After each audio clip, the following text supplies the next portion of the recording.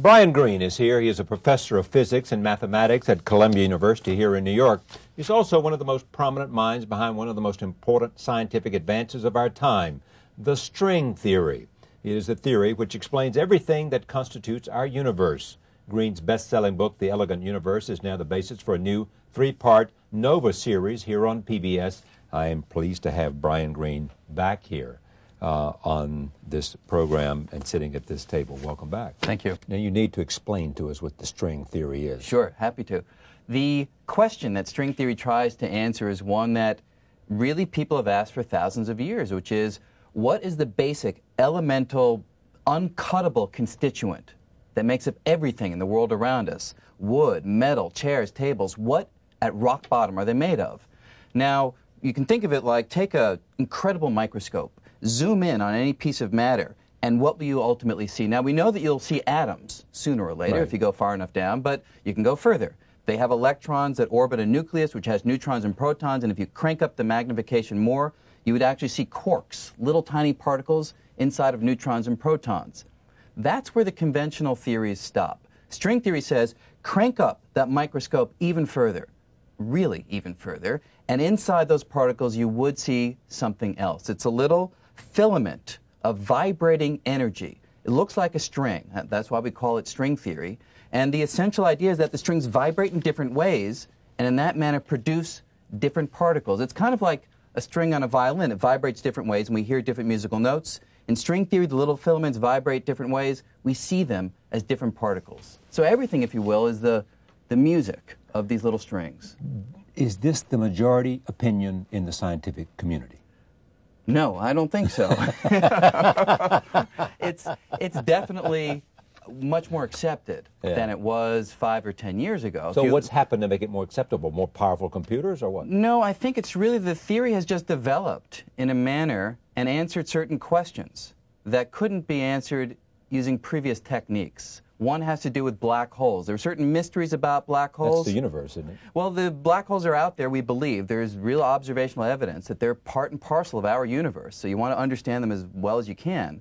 And before string theory, there were ideas about black holes that nobody could establish, having to do with how much disorder, or the word is entropy, they have. String theory has resolved this issue. So I think many have come to the conclusion that although we don't know whether it's right or wrong, and we won't until we have experimental evidence, that really is the arbiter but has had such progress and made such strides that it needs to be taken very seriously. Okay, to repeat myself in a different way, uh, the answer to the question is string theory. What's the question? Well, the question number one is what are the basic elements of the universe? The fundamental the ingredients? basic fundamental elements Yeah, of the universe. That's, right. Okay. What and, else? and the second question is how do we find a unified theory? That was Einstein's dream to find, if you will, a single equation, a single principle that would describe everything. And he struggled to find this unified theory, and he failed. And we think string theory is the unified theory. What's the alternative? I mean, what's in competition for a unified theory? There really isn't at this moment competition. Theory of everything. And, and I should say that that's part of why people are enthusiastic about this theory as well. It's in a sense the only real game in town. If you want to find one theory that can describe everything. You see, before string theory, there were two theories. Einstein's theory of gravity on the one hand, quantum mechanics on the Right, other. right. Gravity is for big things, quantum mechanics is for small things. The problem was putting them together was very difficult. No one was able to do it. They conflicted with each other. String theory comes along, shows how to put them in one package, it all works. If Einstein was the greatest physicist or mathematician of the 20th century, who is the greatest physicist or mathematician of the 21st century? I think it's hard to say. It's still a little early. Three years. but uh, if I was to say who's the greatest string theorist, that, that's a question I think many of us can agree on, which is uh, Edward Witten. yeah, now he's the- involved in this, right? Oh, he is the leading string theorist in the world. He's really driven the subject in a variety of different critical ways. So your claim to fame is that you are the first guy to popularize the string theory. Well, that, that's one thing. I hope it's not the only okay, thing because no, I am a, a scientist I at heart. that. I mean, you're, well, I mean, But, but yeah, definitely. but I mean, um, you were out there, and then you've got Nova investing three and a half million dollars to Right. do this series of things, and That's make you- right. Yeah, you know, I felt that these ideas are so interesting, and they touch on questions that are so close to the hearts of so many people. You know, where did the universe come from? What is space? What is time? What is this place? And the problem has been that the developments which have made progress on these questions are usually phrased in the language of mathematics. Most people don't speak mathematics. so the point of my book was to... Uh, we can all be happy about that. Yeah, well, the point of the book is to, you know, peel away the mathematics. The point of the NOVA program is also peel away the mathematics, show these things visually. In a sense, take a handbook... But we can't see the filaments. Well, that's the thing. If you took a real camera and tried to see the filaments, you couldn't do it. So what do we do?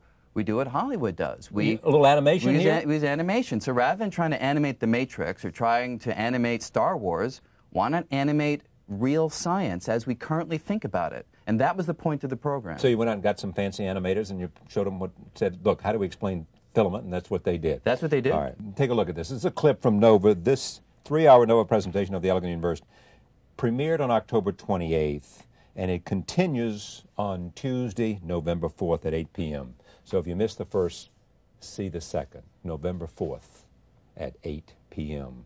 right here on PBS. Roll tape. This Manhattan universe fits with an old classical vision of space. Basically, a flat grid that's static and unchanging.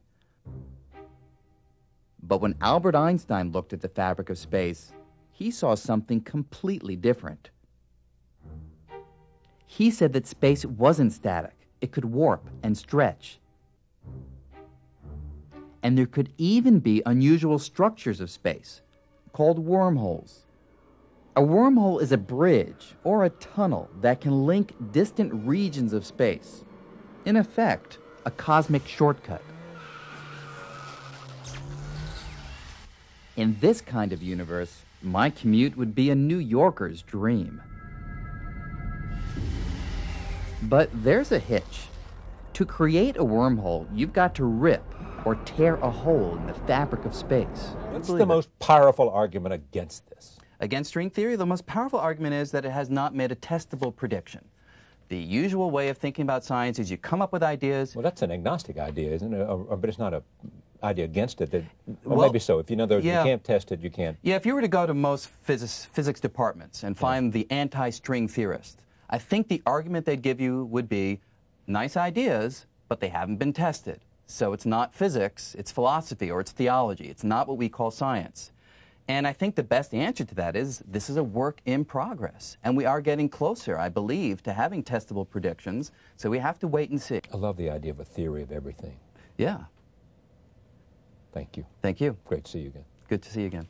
Thank you for joining us. See you next time. Let me remind you Nova here on PBS, Tuesday, November 4th at 8 p.m. You can catch up with the story there uh, and be taken into the future. See you next time.